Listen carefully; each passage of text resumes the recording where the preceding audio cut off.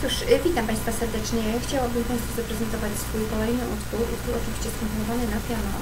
Jak widać, jest to utwór kompozycji własnej, zatytułowany Marzenie.